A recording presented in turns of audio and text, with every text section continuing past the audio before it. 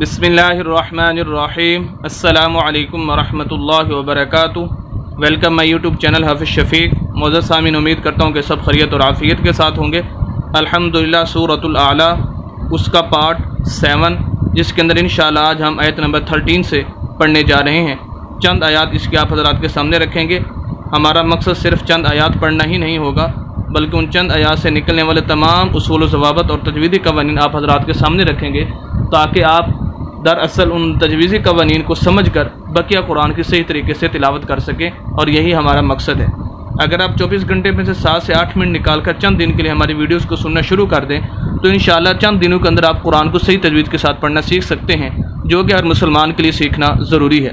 اسی کے ساتھ آپ حضرات سے یہ درخواست ہے کہ صدقہ جاریہ سمجھ کر ہمارے یوٹیوب چینل حافظ شفیق کو سبسکرائب بھی کیجیے اور صدقہ جاریہ سمجھ کر ہماری ویڈیوز کو شیئر بھی کیجیے اور اسی کے ساتھ اگر آپ یا آپ کی فیملی یا آپ کے دوستوں میں سے کوئی بھی آن لائن قرآن شریف پڑھنا چاہتا ہے، تو وہ ہم سے رابطہ کرے۔ الحمدللہ، پہلے سے بھی ہماری کلاسز جاری ہیں۔ مزید بھی انشاءاللہ ہم نئے آنے والوں کو ویلکم کریں گے۔ تو بہرحال آئیے، آج کے سبق شروع کرتے ہیں۔ صورت الاعلیٰ آیت نمبر تھرٹین اعوذ باللہ من الشیطان الرجیم۔ بسم اللہ الرحمن الرحیم ثم لا يموت فيها ولا يحيا. چند باتیں یہاں پر سمجھ لیجیے. سب سے پہلے ہم سا کو میم کے ساتھ ملائیں گے، کیونکہ میم کے اوپر شد ہے، یہ شد کی علامت ہے۔ جس لفظ کے اوپر شد آ جائے، اس لفظ کو مشدد بولتے ہیں۔ گویا میم کے اوپر شد ہے، اب ہم کہیں گے کہ میم مشدد ہے۔ اب چند باتیں ہیں، سمجھ لیجیے، شد کے بارے میں عام دو اصول ہیں کہ جس لفظ کے اوپر بھی شد آ جائے، اس کے بارے میں دو اصول ذہن نشی کر لیں، چاہے لفظ جو بھی ہو۔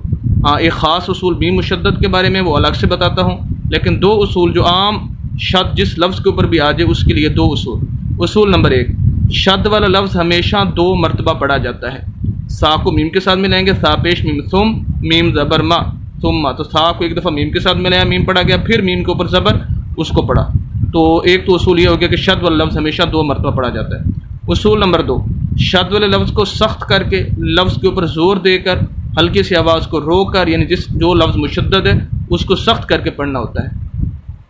تیسرا اصول جو صرف میم مشدد اور نون مشدد کے بارے میں، خاص طور پر ہر مشدد کے بارے میں نہیں میم مشدد یا نون مشدد، اس کے بارے میں یہ تیسرا اصول ہے۔ اور وہ یہ ہے کہ جب بھی میم کے اوپر شد آ جائے یعنی میم مشدد ہو یا نون مشدد ہو، نون کے اوپر شد آ جائے، تو ہمیشہ ان دونوں پر غنہ ہوتا ہے۔ غنہ کہتے ہیں اس لفظ کی آواز کو ناک کے اندر ایک الف کے برابر لے کر جانا۔ اسے غنہ کہتے ہیں۔ اب میم پر ہم نے غنہ کرنا ہے، اب کیسے؟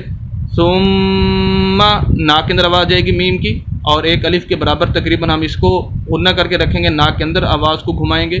سما تو یہ ہے طریقہ غنہ کرنے کا اور میم مشدد اور نون مشدد کو پڑھنے کا کہ نون مشدد ہو تب بھی غنہ ہوتا ہے۔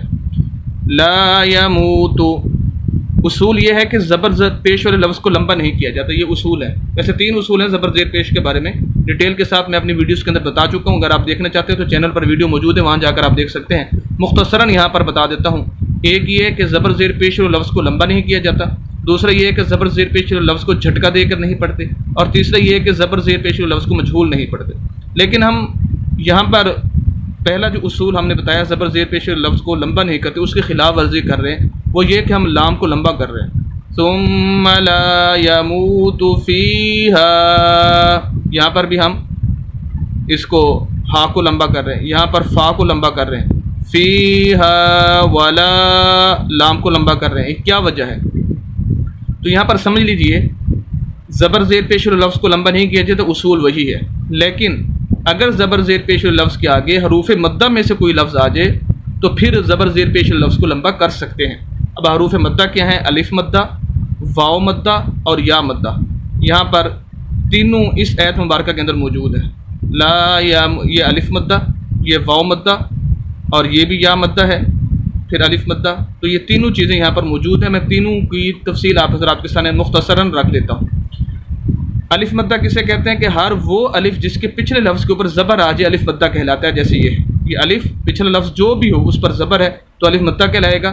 ایسے لفظ کو لمبا کر کے پڑھیں گے۔ لا، ثم لا۔ اس بنا پر ہم لمبا کر رہے ہیں۔ وغیرہ اصول وہی ہے کہ جہاں بھی خالی زبر زیر پیش آ جائے کہ اس کے آگے کچھ بھی نہیں ہے تو اس لفظ کو لمبا نہیں کریں گے۔ جیسے یموت تا۔ اب یہ کسی کے ساتھ نہیں مل رہا۔ یموت تا پیشتو اب یموت اس کو ایسے نہیں پڑھ سکتے، لمبا نہیں کر سکتے۔ تو یہاں پر جو ہم لمبا کر رہے ہیں، الف مدہ کی وجہ سے۔ لا، لام زبر الف، لا۔ یہاں پر میم کو ہم لمبا کر رہے ہیں۔ یموت میم کو واؤ کے ساتھ ملا رہے ہیں اور یہ واؤ مدہ ہے۔ اس کی تعریف اور اس کی ڈیفینیشن یہ ہے واؤ مدہ کی کہ ہر وہ واؤ ساکن، یہ ساکن کی علامت۔ جزم بھی بولتے ہیں، سکون بھی بولتے ہیں۔ ہر وہ واؤ ساکن جس کے پچھلے لفظ کے اوپر پیش آ جائے واؤ مدہ کہلاتا ہے۔ پورے قرآن کے اندر یہی ڈیٹیل اور یہی تفصیل ہوگی اور یہی ڈیفینیشن ہوگی۔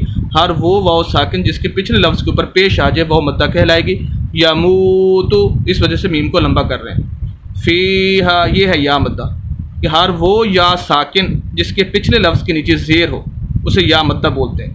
ہر وہ یا ساکن، یہ ساکن جس کے پچھلے لفظ کے نیچے زیر ہو، یا مدہ کہلاتی، ایسے کو بھی لمبا کیا جاتا ہے۔ پھر آگے ہا کے آگے الف الف مدہ۔ اسلام کے آگے الف الف مدہ۔ تو یہ الف مدہ دو تین یہاں پر آ چکے ہیں، یا مدہ بھی آ چکی ہے اور وہ مدہ بھی آ چکی ہے ڈیٹیل میں آپ حضرات کے سامنے رکھ چکا ہوں۔ اس بنا پر ہم زبر زیر پیش لفظ کو لمبا کر رہے ہیں، وگرنہ خالی زبر زیر پیش لفظ کو لمبا نہیں کیا جاتا۔ امید کرتا ہوں کہ آپ بخوبی سمجھ چکے ہوں گے اس کو۔ اب دیکھیے۔ ثم لا يموت فيها ولا يحيا۔ اب آپ کو پتہ چل چکا ہوگا کہ ہاں یہاں پر ہم نے فا کو کیوں لمبا کیا، یہاں پر میم کو کیوں لمبا کیا، یہاں پر لام کو کیوں لمبا کیا۔ یہاں پر ہا کو کیوں لمبا کیا، یہاں پر لام کو کیوں لمبا کیا؟ یہ ساری ڈیٹیل آپ کے سامنے آ چکی ہے کہ الف، واؤ اور یا مدہ کی وجہ سے۔ آخر میں یا کے اوپر کھڑی زبر کھڑی زبر، کھڑی زیر الٹا پیش تین حرکتیں ہوتی ہیں۔ جس لفظ کے اوپر نیچے آ جائیں، اس لفظ کو بھی لمبا کر کے پڑھتے ہیں۔ تو یا کے اوپر کھڑی زبر اور وقف ہی کرنا ہے، تو ولا یا یا لمبا کریں گے آخر میں یا ہے، خالی ہے، اس کو نہیں پڑھیں گے۔ نیکسٹ ایڈ نمبر فورٹین قد افلح من تزکا قد قاف کو دال کے ساتھ دال ساکن مختصراً یہاں پر بتاؤں گا، یہ حروف قلقلہ میں سے ہے۔ قاف قا جیم، دال اور با پانچ حروف ہیں۔ اگر ہم ان کو اکٹھا کریں تو بنتا ہے قوتو دن جب یہ پانچ حروف ساکن ہوں، جیسے یہاں پر دال ساکن ہے، تو ان کی آواز کو ہلا کر پڑھنا قلقلہ کہلاتا ہے۔ قد، اگر قلقلہ نہ کرے تو ہم پڑھیں گے قد۔ قد اف لاح قد اف قلقلہ کریں گے۔ قد افلاح جیسے ساؤنڈ سسٹم ہم بولتے ہیں تو بار بار ہمیں آواز سنائی دیتی ہے۔ اسی طرح یہاں پر قلقلہ بھی ایسے ہی ہے۔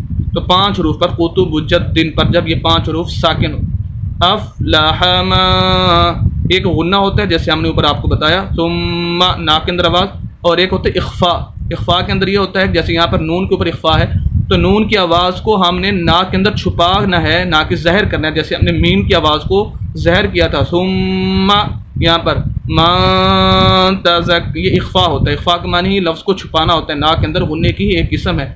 تو یہ اخفا کہلاتا ہے۔ تو بہرحال یہاں پر غنہ نہیں کریں گے بلکہ اخفا کریں گے۔ تزک کا وہی شد آ گئی، شد کے دو اصول۔ ایک تو زا، زبر، کاف، زک۔ کاف دو دفعہ پڑھا جائے گا، کاف کھڑی زبر، کا۔ اور دوسرا یہ کہ سخت کر کے آواز کو رو کر۔ تزک کا تزک، کا۔ امید کرتا ہوں کہ یہ دو آیات آپ کے سامنے پڑھی گئی اور خصوصاً جو اصول و ضوابط بتائے کہ ان دو آیات مبارکہ کی روشنی کے، آپ ان کو بخوبی جان چکے ہوں گے۔ مزید اسلامی ویڈیوز کے لیے اور قرآن کو صحیح تجویز کے ساتھ پڑھنے کے لیے ہماری یوٹیوب چینل حفظ شفیع کو ضرور سبسکرائب کیجیے۔ صدقے جاریہ سمجھ کر ہماری ویڈیوز کو شیئر بھی کیجیے۔ ملتے ہیں نیکسٹ ویڈیو کے اندر۔ کل انشاءاللہ اجازت دیں۔ اللہ حافظ۔